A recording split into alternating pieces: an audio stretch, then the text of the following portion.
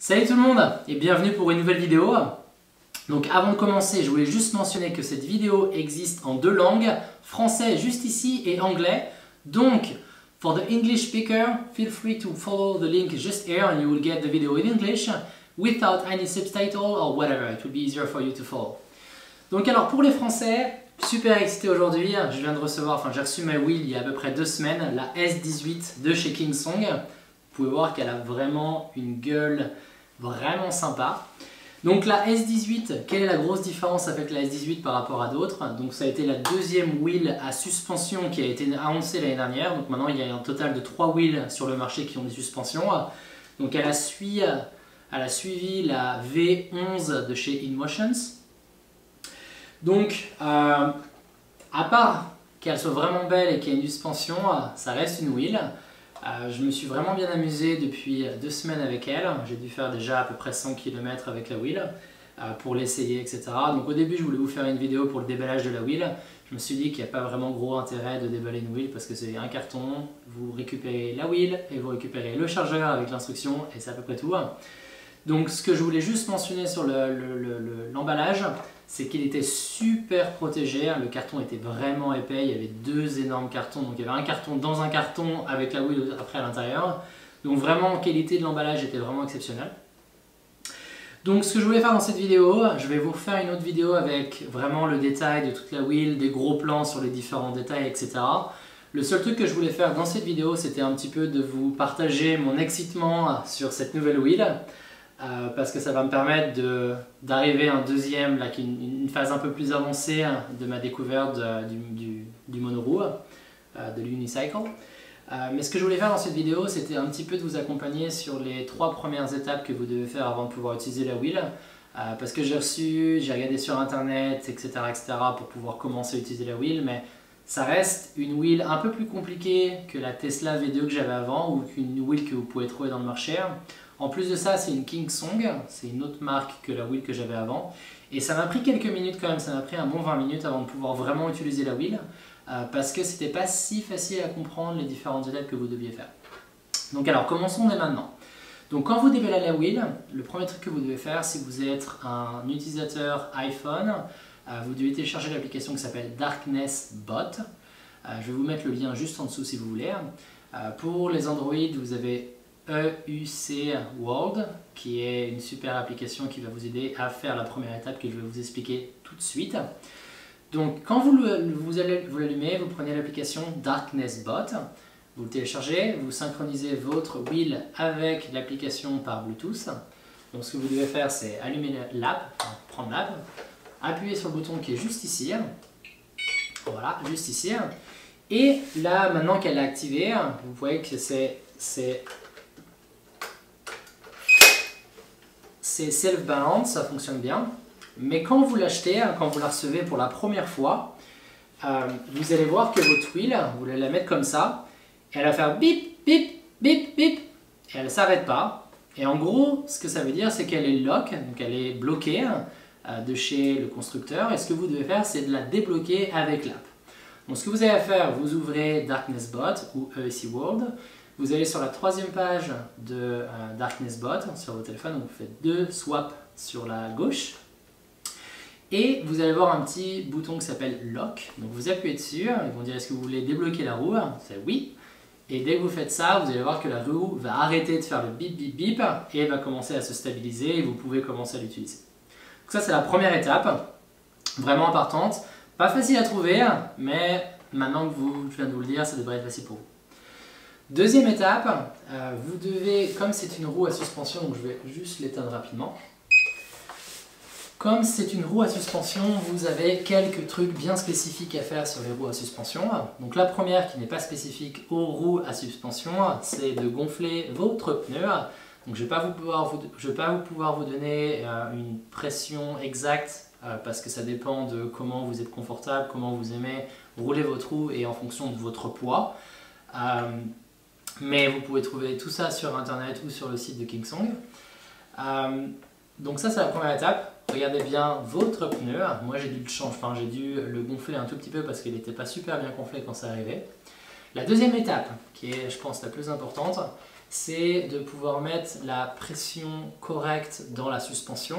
Donc la suspension, je vais essayer de vous rapprocher, à les décomposer en deux parties. La partie haute qui est juste là, vous voyez le petit capuchon rouge qui est juste ici, et la partie basse. Donc la partie basse c'est le petit capuchon rouge qui est juste ici, et une petite euh, ring en caoutchouc. Donc commençons par la ring en caoutchouc. Euh, quand vous regardez un petit peu sur internet, vous avez pas mal de recommandations euh, sur la position de votre, votre petit truc de caoutchouc. Donc en fait ça évite que la suspension arrive trop bas et qu'elle puisse endommager la suspension plus tard. Donc ce qui se recommande c'est de ne pas aller plus loin que 70 70-80% de la suspension. Donc moi je le mets à peu près à 60%.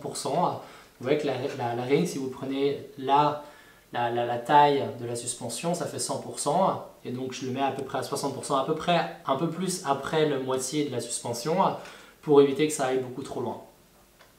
Le deuxième truc que vous devez faire, donc faites ça et regardez à chaque fois que vous roulez parce que vous allez voir que ça va continuer à descendre si vous n'y touchez pas. Donc à chaque fois je le règle un tout petit peu pour être sûr que ça reste à peu près à ces positions-là. Le deuxième truc, qui est sûrement le plus important, c'est de pouvoir donner de la pression, donc de mettre de la pression dans la suspension, donc dans les deux chambres, la chambre haute et la chambre, euh, basse. Euh, et donc en gros, ce que vous devez faire, c'est enlever les capuchons, euh, prendre une clé, comme ce que vous faites sur un vélo ou sur le pneu d'une voiture si vous voulez faire une bêtise. Vous mettez votre clé sur le petit pin qui aura à l'intérieur, ça va enlever toute l'air et là vous pourrez commencer à mettre la pression avec une pompe. Donc, euh, vraiment important, regardez quand vous allez recevoir votre wheel, vous allez voir une petite instruction, hein, vous allez voir une petite, euh, une petite table, et vous allez voir en fonction de votre poids, et en fonction de qu'est-ce que vous voulez faire, si vous voulez faire du off-road, enfin vous voulez faire du trail, ou vous voulez faire de la route ou autre, vous avez des configurations différentes et des niveaux de pression différents. Euh, donc en gros, suivez le petit euh, prospectus que vous allez avoir dans la boîte quand vous allez recevoir votre wheel et ça va vous donner un petit peu les paramètres un peu euh, par défaut hein, que vous devez mettre dans la suspension. faites vraiment attention parce que avant de l'utiliser pour la première fois, vraiment mettez la pression dans votre suspension parce que quand j'ai regardé la mienne, elle était trois fois plus basse que ce qu'il me recommandait pour mon poids. donc j'aurais pu endommager les suspensions en faisant mon premier premier ride. Euh, donc, faites vraiment bien attention à ça. Euh, je vais vous faire une autre vidéo juste après, donc ça va arriver dans deux ou trois jours, euh, qui va être vraiment only focalisé sur comment mettre la pression sur, sur, le, sur la chambre à suspension. je vais vous faire voir le détail, les différentes steps, et vous faire ça plus en détail, ça va être plus simple pour pouvoir suivre.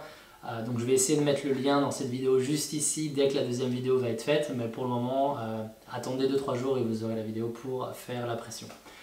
Euh, et ça a été un peu la galère, donc j'ai trouvé des accessoires sur Amazon qui m'ont beaucoup aidé à pouvoir brancher, de pouvoir en fait mettre un petit raccord et pouvoir mettre la pression plus facilement sur la, suspension.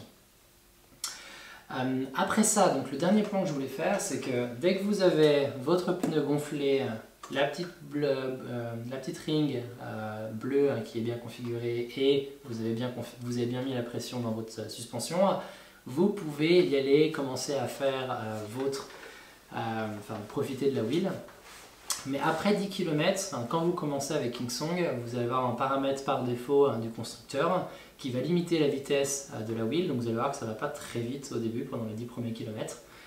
Et donc en gros, après les 10 premiers, 10 premiers kilomètres, vous pouvez débloquer la, euh, la wheel à son potentiel euh, de, de, de, manufactureur.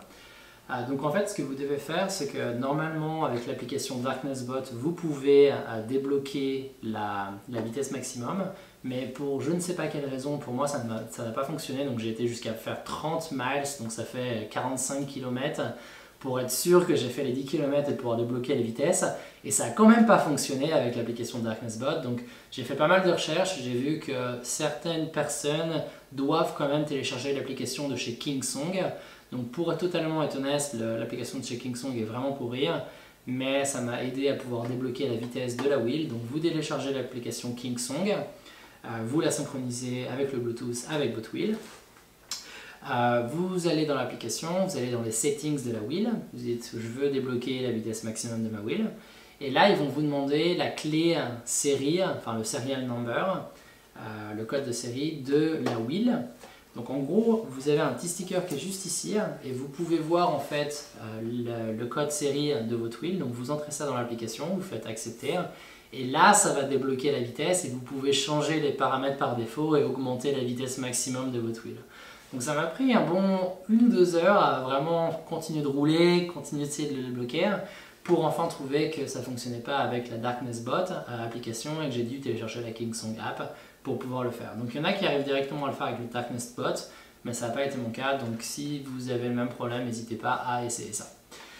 Euh, donc voilà, c'est à peu près tout pour la wheel. Si vous avez des questions ou autres que j'ai pas couvert dans cette vidéo, n'hésitez pas à mettre un petit commentaire dans la description juste en dessous. Euh, ma prochaine étape va être de vous faire une vidéo sur une vidéo détaillée de comment euh, mettre la pression sur la chambre air de la suspension et je vais ensuite vous faire une deuxième vidéo sur la revue détaillée euh, de la wheel quand j'aurai fait encore 50-60 km de plus pour être sûr que je comprends vraiment toute la logique et je puisse vous conseiller sur les différents avantages et inconvénients de cette wheel. Donc voilà, j'espère que ça vous a plu. N'hésitez pas à vous abonner à la chaîne et on se revoit bientôt. Ciao ciao